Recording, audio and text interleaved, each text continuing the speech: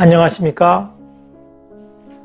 오늘은 약법 3장이라는 주제입니다. 그 약법 3장이라고 하면은 법을 간략하게 만들어서 세계 장어로만 만든 법이란 것입니다.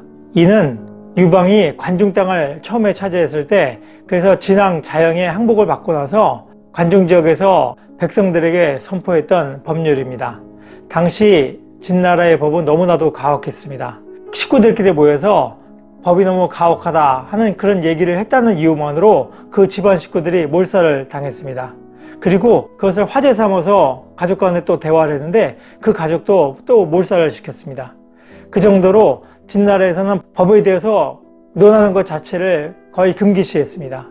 이렇게 가혹한 법 속에서 진나라 백성들의 삶은 도탄에 빠졌고 결국 진나라가 빨리 망하는 하나의 요인으로 작용했습니다. 처음에 유방이 관종으로 들어왔을 때 그는 아방궁에 들어갔습니다. 아방궁은 화려하게 꾸며진 궁전인데 거기에 많은 후궁들도 있었습니다. 그러다 보니까 처음에 유방이 아방궁에 도착해서 거기서 후궁들과 함께 향락을 즐기려고 했습니다. 그러니까 부하였던 번케라든가 장량 등이 아방궁에서 향락을 즐기는 것은 패망하는 일이다 하면서 유방을 설득합니다. 유방은 순순히 아방궁을 나와서 함양을 떠납니다. 그래서 함양에서 수십 리 떨어진 패상이라는 곳에 주둔하면서 거기에 마을 류지들을 불러 모읍니다. 마을 류지들에게 약법 3장을 선포합니다. 그 약법 3장의 내용은 사람을 죽인 자는 사형에 처하고 사람의 물건을 훔치거나 남을 상해한 자는 거기에 합당한 벌을 준다 하는 그런 내용입니다.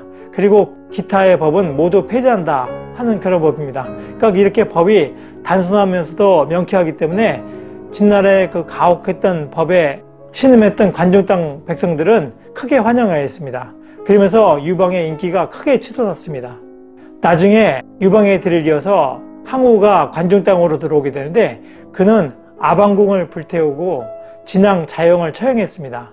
그리고 진의 왕족과 관리들을 4천명 이상 처형했습니다. 그러면서 무덤을 파헤쳐서 금은 보석들을 모두 약탈했습니다. 그렇게 되니까 진나라 백성들의 마음이 항우를 떠났습니다. 민심이 항우에게 등을 돌린 것입니다. 나중에 항우는 금이 환양이라는 명목으로 다시 청나라로 돌아갑니다. 청나라로 돌아가서 초패왕을 칭합니다. 그러니까 황제라고 칭하지 않고 초패왕을 칭하고 초나라에 머무르게 됩니다. 한편 유방의 경우에 파쪽 땅과 한중 땅을 차지하는 한왕으로 봉해졌는데 그는 6개월 동안 심을 기르고 나서 다시 관중으로 돌아옵니다.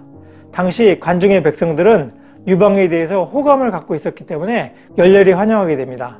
이 관중 지역을 기반으로 해서 유방은 항우와의 싸움에서 승리하게 됩니다. 그래서 나중에 한 제국이 성립되는 중요한 계기가 됩니다. 그것은 바로 유방이 진나라에 가혹했던 법을 없애고 약법 3장으로 백성들의 마음을 얻었던 것이 중요한 계기였다고 생각할 수 있습니다. 복잡한 법은 혼란과 부패를 낳습니다. 검증되지 않은 정책을 남발하고 그것을 강제하기 위해서 규제와 벌칙을 계속 높이는 것은 결코 민생에 도움이 되지 않을 것입니다. 불필요한 정부의 개입을 줄이고 약법 3장의 정신을 다시 한번 살펴보아야 할 것입니다. 다음 시간에는 유방이 천하를 차지한 이유라는 주제로 말씀드리겠습니다. 노력하는 여러분의 동반자 동반 TV입니다. 감사합니다.